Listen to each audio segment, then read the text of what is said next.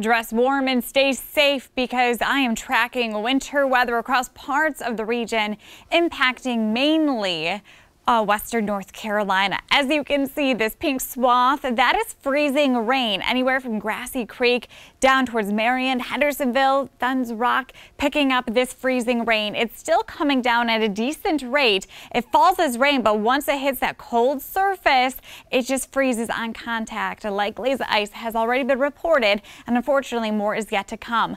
And then I want to zoom in to the North Carolina as well as the South Carolina state line. So this is Greenville County, northern portions of it. You can see we have that freezing rain too from Chestnut Springs back towards Gap Creek. Caesar's Head also seeing that freezing rain right now. Please be careful, reduce your speed if you are traveling this morning. And if you don't have to go out, just don't. Wait for the afternoon as it will be much better. But the rain is going to come down more heavy and steady starting this afternoon. But at least by lunchtime, our temperatures will be warming above freezing. So right now with all of our temperatures above that freezing point in the upstate, that's what we have is rain. So this whole system is just temperature dependent. You can see we have a wide area of rain and that's all going to be impacting us throughout the day. So we still do have those winter weather advisories in place for western North Carolina as well as northern portions of the upstate. This will expire at noon today because we have the greatest chance of ice accumulation to happen now up until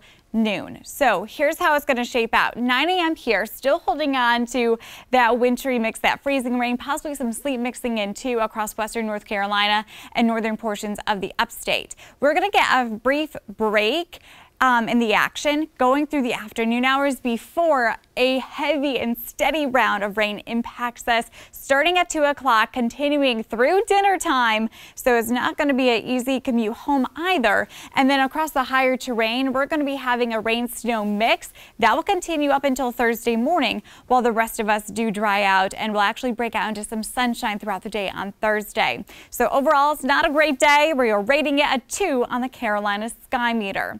So uh, for today, you can expect it to be cold. So the rain that falls, it's going to be that cold rain. You're really going to have to bundle up and the winds are going to be gusting up towards 30 miles per hour. So a wind chill component will be there.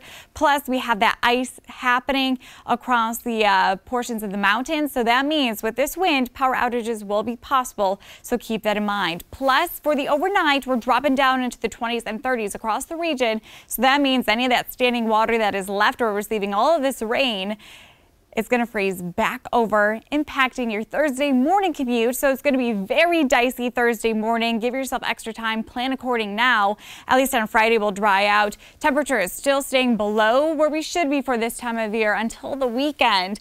And for the mountains, it's that wintry mix happening today. Lingering showers tomorrow, drying out, but staying with a mostly cloudy sky condition. More sunshine will break through on Friday and the start of the weekend.